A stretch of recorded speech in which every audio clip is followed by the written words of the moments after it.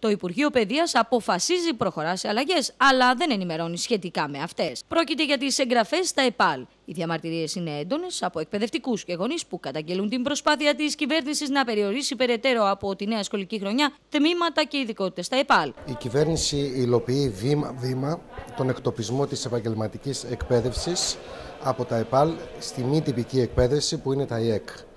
Με το νέο σύστημα εγγραφής των μαθητών που είναι ηλεκτρονικό στα ΕΠΑΛ, ένα σύστημα, με το σύστημα αυτό επιχειρεί να, να πάρει τον έλεγχο στα χέρια της σε κεντρικό επίπεδο, παρακάμπτοντας όλη την πυραμίδα της εκπαίδευσης, διευθυντές εκπαίδευσης, περιφερειακούς διευθυντές εκπαίδευσης και βλέποντας συχνά αριθμούς να καταργήσει τμήματα και ειδικότητες. Ε, προσπαθεί να εφαρμόσει ένα μοντέλο καθολικό για όλη την Ελλάδα, χωρίς να λαμβάνει υπόψη τις ιδιαιτερότητες που υπάρχουν σε κάθε περιοχή. Η ξαφνική αλλαγή στον τρόπο εγγραφής των μαθητών στα ΕΠΑΛ.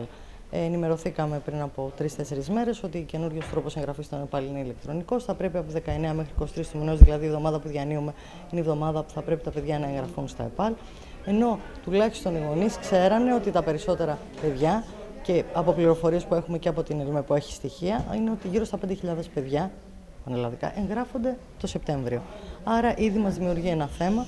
Η τα παιδιά έχουν τελειώσει από τα σχολεία, δεν έχουν ενημερωθεί για τη λειτουργία των ΕΠΑΛ. Συγκεκριμένα, το Υπουργείο Παιδείας με εγκύκλιο που στάλθηκε στα ΕΠΑΛ απαιτεί την ηλεκτρονική εγγραφή των μαθητών μέχρι τις 30 Ιουνίου. Ενώ είναι γνωστό ότι ο μεγάλος όγκος των εγγραφών στα ΕΠΑΛ πραγματοποιείται μέσα στο Σεπτέμβρη. Στόχος της κυβέρνησης, όπως τονίζουν, είναι η κατάργηση τμήματων ειδικοτήτων προληπτικά, ώστε να μην τα κλείνει το Σεπτέμβρη. Όπως έγινε αυτή τη σχολική χρονιά. Διαμορφώνει μια συγκεκριμένη πραγματικότητα και αποδεικνύει μια συγκεκριμένη πολιτική σκοπιμότητα η οποία είναι και μάλιστα είναι και απαράδεκτη. Είναι μεθόδευση. Με, μέσα από τον τρόπο της ηλεκτρονικής εγγραφής να μειωθούν τα ΕΠΑΛ, οι τομείς, οι ειδικότητες και τα τμήματα.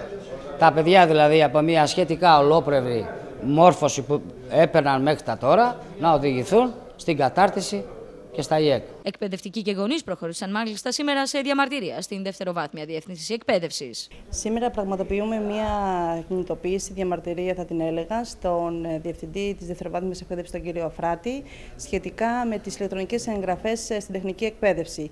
Για άλλη μια φορά, το Υπουργείο Παιδείας ευνηδιάζει γονείς και εκπαιδευτικούς την τελευταία στιγμή. Είναι πολλοί γονείς οι οποίοι τα παιδιά τους θέλουν να φοιτήσουν στο ΕΠΑΛ και δεν έχουν ενημερωθεί και δημιουργείται ένα σοβαρό πρόβλημα.